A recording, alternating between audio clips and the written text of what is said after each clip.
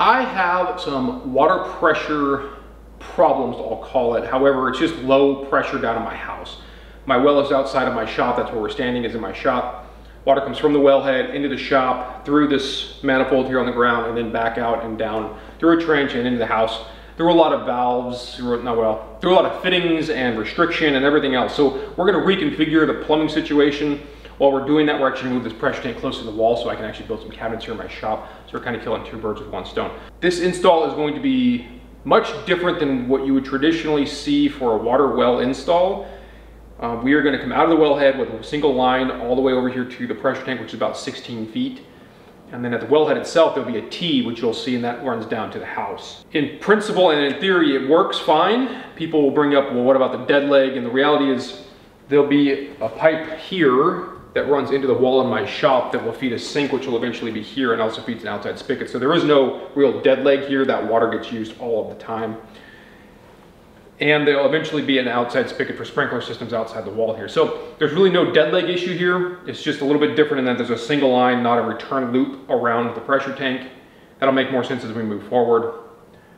With that being said though, we need to basically turn off this water and start ripping this manifold apart get the stuff outside ripped apart and replumb down to the house. This is my well. This goes down 220 feet. There's a pump down there and it pumps water up. Comes out the side of a bottomless pit adapter here. Does a 90, does a 45 behind my leg. There's a 45 back there and goes into the bottom of the garage.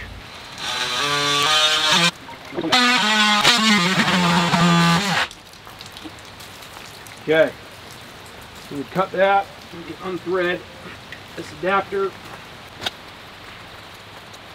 We're gonna go cut the rest of these lines over here and get them all out of the way.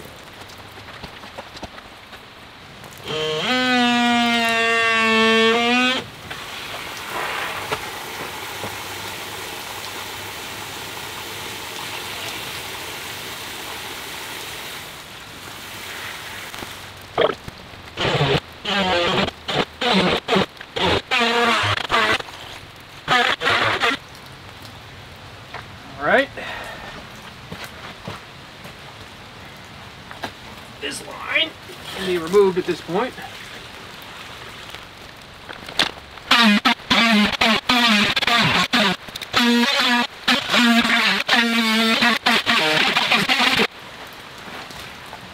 Alright, now this line can be removed.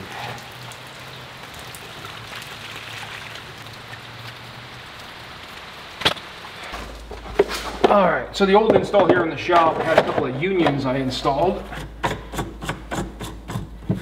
which are extremely convenient for if you had to replace the tank. In this case, the new install won't have those, but we'll deal with it. However, it's convenient because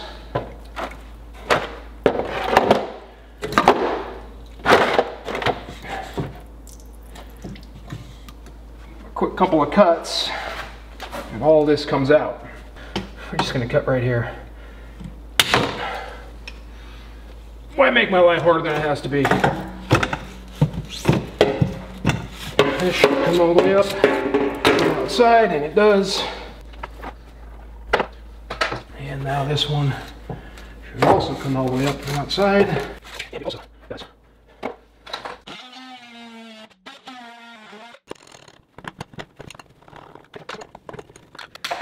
Now that we've removed all that and the tank is empty, I gotta be careful because it's still electrically connected, but we're gonna slide the whole unit that direction um, and reposition the bricks and wipe up the floor and then we're gonna replumb everything.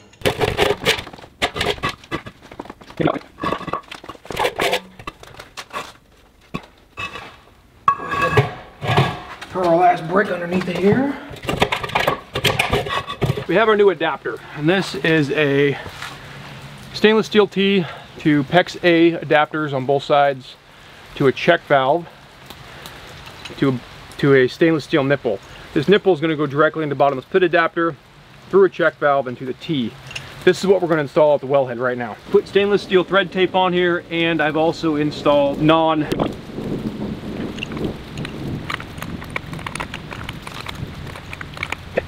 So it doesn't matter which direction the T points as long as one goes that way and one goes this way. So our one inch line will come off of here and go to the to the shop, which will be the pressure tank. The other one inch line will go down and feed the house. We have our one inch line here, our three quarter inch line here. In order to install these, we use hose clamps, a PEX-A to barb fitting, and a torch to warm up the tubing.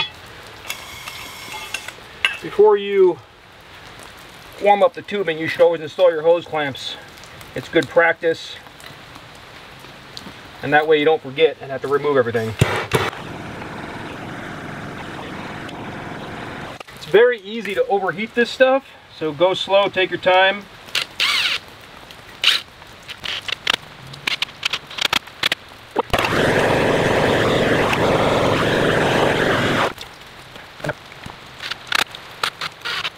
Okay, there we go. So we have our adapter here, our adapter here, and our T off our wellhead. We need to grab our PEX lines and start putting this all together.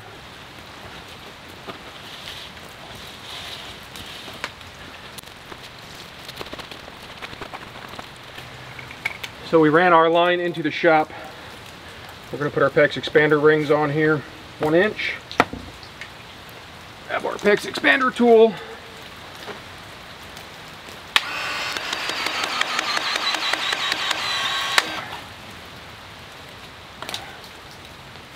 And hopefully quickly put that on there all the way and it's on all the way and we hold it. Get our foot out of the mud. So there's our new main line to our shop, which in turn feeds the pressure tank and the controller. So our first step is to get this configuration put together down here. We need to come off of that adapter right about here and put a T in.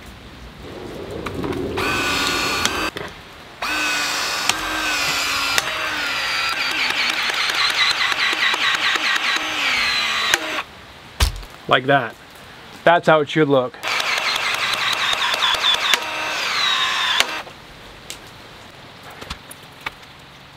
An expansion ring on there.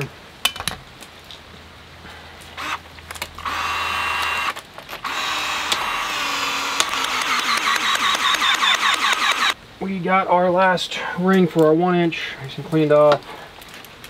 Gonna put this on.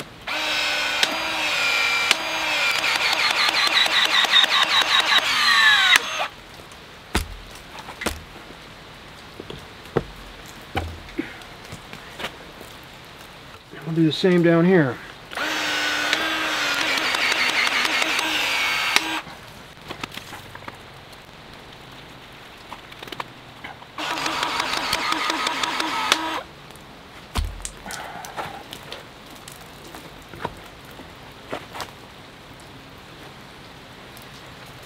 So that's all there is to the portion outside.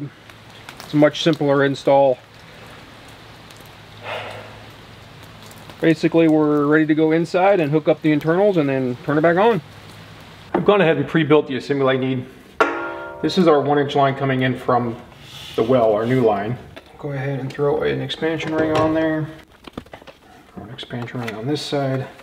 Because I have a little bit of play up and down here, I'm going to go ahead and make this other joint up first.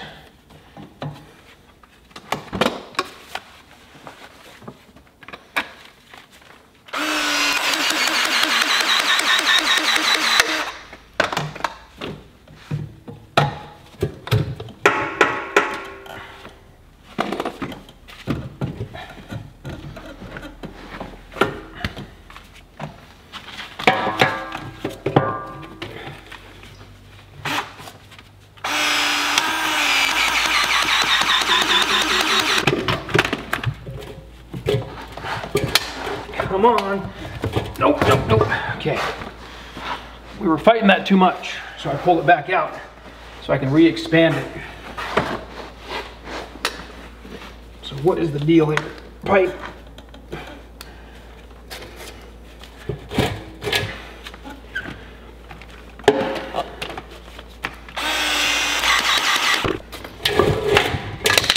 There we go. And now our valve, which is PEX B, which uses crimp rings. we'll install here. We will put our crimp ring on. So we want to make sure it's positioned properly, and it is. Our valve goes in and goes in. Everything lines up, except that we put it in backwards because I want the handle to go the other direction. Slide our rings up in place, make sure we're good, and we crimp it down. There's one. It's important before you crimp these that the collar and the tubing be aligned properly. There's two. I went ahead and installed a plug in this side of the controller, so it just is going in here. Once again, there's no dead leg concern here because I am in my shop all the time. We'll have a sink in here and a water spigot outside, which is used constantly. So the, any water that would be circulating through the tank, because if our pressure tank works, would be pushed in and out of this line constantly, so where there's no dead leg.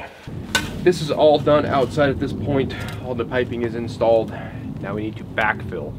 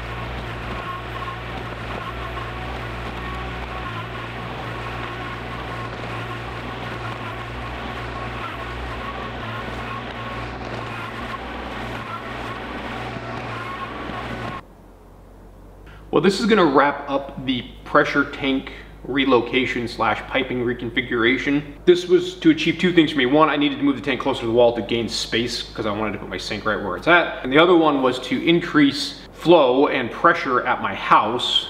I will tell you that by removing all those fittings, the 90s, the T's, relocating check valves, reducing all that restriction and putting in tubing that has minimal uh, flow restriction, the gains were negligible. Fortunately, I was hoping for a significant gain I didn't have a good way to test that in without just doing it, so we did it. I'm glad I did it. I upgraded the piping underground from that white PVC to the PEX A tubing, which is a much better product. And it's in a much cleaner install here in the shop. Overall, I'm fairly pleased with the result, more so because of the space I gained in here. I may be investigating a booster pump or something else like that down the road for the house. Realize that in my specific case, I don't actually have flow problems in the house, but my desire is to put in a sprinkler system and I was hoping to up the flow rates to be able to supply more than one sprinkler head at a time when I install a permanent sprinkler system. Hope you enjoyed, hope you got a lot out of this one, and until next time, thanks for watching.